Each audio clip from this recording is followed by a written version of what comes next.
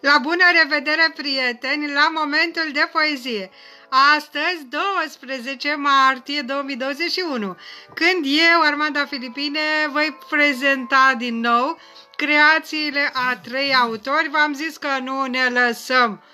Pandemia e din ce în ce mai dusă cu capul, dar noi dăm cu poezie că face bine, ați văzut? Ne place din ce în ce mai mult pentru mine e din ce în ce mai dificil să știți pentru că am... Uh, mi-e din ce în ce mai greu să găsesc uh, poezii la autorii pe care nu i-am prezentat sunt foarte mulți membri ai Uniunii Scritorilor și nu le găsesc poeme pe internet. Bibliotecile știți foarte bine că nu au toți autorii și din ce în ce mai dificil, da, nu mă las, v-am zis. Prezint în continuare autori și îmi pare bine că prietenii au grijă de momentul nostru. Am primit astăzi literatura de la Buzău, de la prietenul Teocabel și mulțumesc foarte mult și îl felicit pentru un poem pe care l-am văzut aici și care este tare frumos. Orice foaie albă are toate poeziile viitoare din lume. Așa începe poemul lui Teocabel din revista cu numărul 19, litera Dura, din care eu am să vă prezint un autor de poezie născut la Buzău, pe numele său de poet, Radu Bata, și care, să știți că după, imediat după 1990 a plecat în Franța. Preda în România limba franceză. În Franța predă, dragii mei, tot limba franceză și jurnalism. Iată ce interesant. Și am citit o mărturisire de-a domniei sale, cum că a îndrăznit să publice pentru că l-a îndemnat Mircea Cărtărescu. Nici nu se putea mai bine ca un poet să fie îndrumat de un alt poet cum e Mircea Cărtărescu și haideți să vedem din creația lui Radu Bata un poem care se intitulează Limbă străină. Să vedem cât e de străină această limbă. Din, repet, minunăția de revistă Literatura, care are pe copertă tot pictura Iuliei Șchiopu, care mi-a făcut o deosebită plăcere de cum am văzut-o, e și pe coperta celelalte reviste, unde am și eu câteva poeme, dragii mei. Permiteți-mi să vă laud, dar haideți să trecem la poetul nostru, Radu Bata, acum trăiește în Franța și bine face. Limbă străină Învăț și acum limba îndoielii, fără profesor, dar am un dicționar bun și mă descurc cât de cât la scris. În schimb, ratez mereu monologurile. Radu Bata, stimați prieteni, iată o poezie altfel, dar iată, confesivă, extraordinar de interesantă. Vă invit să-i căutați volumele acestui interesant autor. Repet numele Radu Bata. Și am uitat să vă spun că ascultăm muzică din perioada renascentistă. N-am mai ascultat de mult, dar e bine să facem asta sunt doi compozitori, Alexander Utendal și Filipus de Monte. Deci doi autori care au trăit de mult, de mult, de mult, de mult, de mult, dar iată că noi avem ocazia să ascultăm aceste creații foarte interesante. Și acum ceva la fel de interesant în domeniul poeziei. Din antologia pe care deja o știți și mai am de prezentat din ea, realizată de Marian Oprea, să trăiești, domnule Marian, să mai faci, că am văzut că mai sunt destui care nu sunt prezenți pe aici, un autor de poezie care a trăit de copil în Timișoara și apoi a plecat la Belgrad, unde a și decedat. De fapt, este un autor de limbă sârbă, născut de mult, de mult, de mult, în 1893.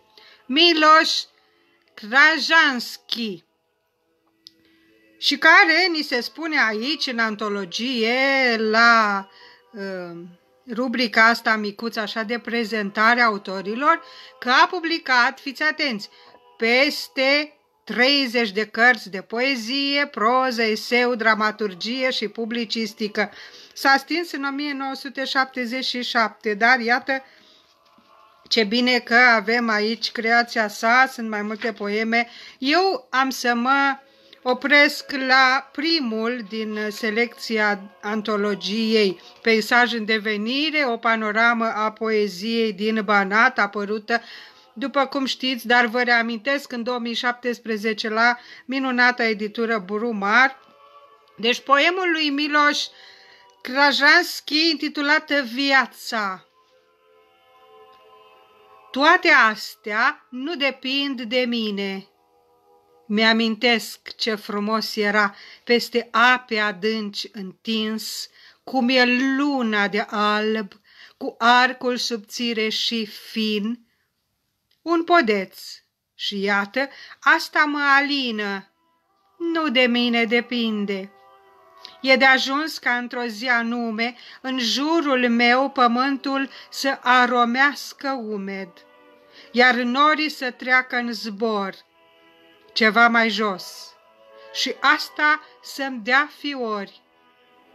Nu, nu de mine, va fi de ajuns dacă, într-o zi de gerar, dintr-o grădină înzăpezită, va țâșni vreun țânc zgribulit, străin odor, la piept să-mi sară.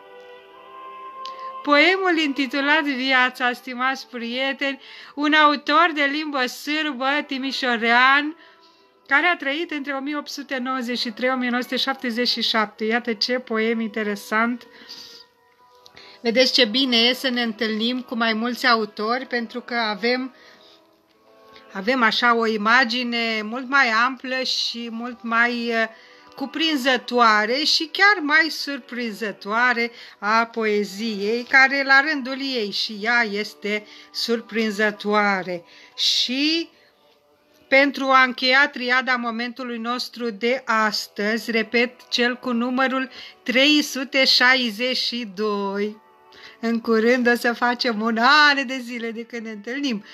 Un autor, din păcate și el plecat dintre noi, născut la Buzău, într-o zi de 8 martie 1935. Artur Porumboiu, a plecat dintre noi la 2 decembrie 2011, era în Constanța. A fost membru al Uniunii Scriitorilor, a publicat destul de multe volume, multe au fost uh, traduse în mai multe limbi și dintr-o revistă ieșană Poezia, numărul 3 din 2008, uh, toamna, știți cum sunt revistele ieșene, acesta este un număr de toamnă, am ales următorul poem, foarte, foarte interesant, regretatul Artur Porumboiu, un buzoian care a fost uh, multă vreme, cred, uh, trăitor în Constanța. Pe pereți dansează gol și obscen frigul.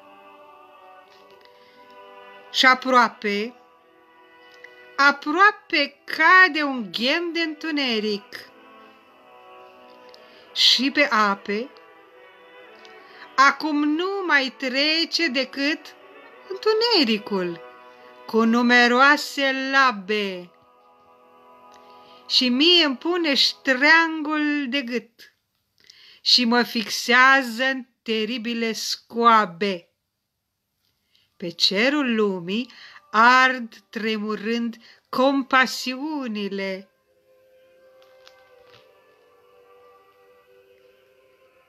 pe care le le gâtuie în grabă întunericul trecând greu ca un tank. O poezie care se potrivește tare bine cu perioada asta de pandemie și cu zilele astea de primăvară friguroasă și zilele friguroase și primăvara înfrigurată și iată cu un întuneric care face rău. Pentru poeți întunericul face bine, că e noaptea poeziei, dragii mei. În fine, haideți să ne revenim, să zâmbim un pic, că e primăvară, am avut întâlnire iar cu poezia și eu vă îmbrățișez așa, cu toată dragostea și cu bucuria că sigur ne vom revedea și mâine la un nou moment, poate nu așa târziu ca astăzi, dar sigur vor fi trei autori, trei uh, creații uh, literare cât se poate de frumoase. Uh, poate mai găsesc uh, ceva interesant în uh, revistuța asta pe care doar ce am primit-o, mai arăt o dată, literatura, și cu siguranță mai selectăm, da, ați văzut, nu chiar în fiecare zi, din uh, antologia de la Timișoara, peisaj în devenire. Între timp am mai găsit pe internet un fel de calendar cu scriitori timișoreni, o să văd dacă sunt și acolo de prezentat și în fine mai căutăm și mai avem autori, sunt destui și noi, dragii mei, foarte mulți autori despre care nu știm mare lucru sau în fine încercăm să aflăm cât se poate de multe. Sunt și foarte mulți tineri care scriu frumos, ne vom strădui să-i prezentăm și pe ei. V-am zis, e încă pandemie, nu ne oprim și chiar dacă se termină, da, nu se termină.